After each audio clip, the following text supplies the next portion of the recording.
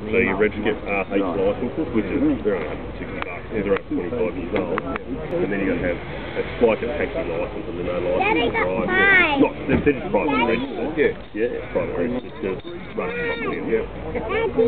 Yeah, it's good. Yeah, you got to have a couple of licenses and that.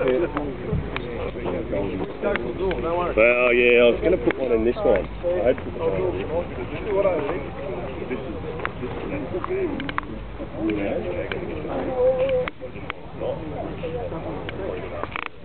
Right, and I'll call off. No, I was going to whack that sunroof. I just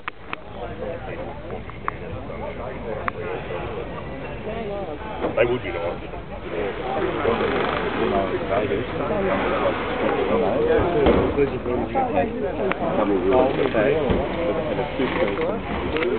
Up on the back.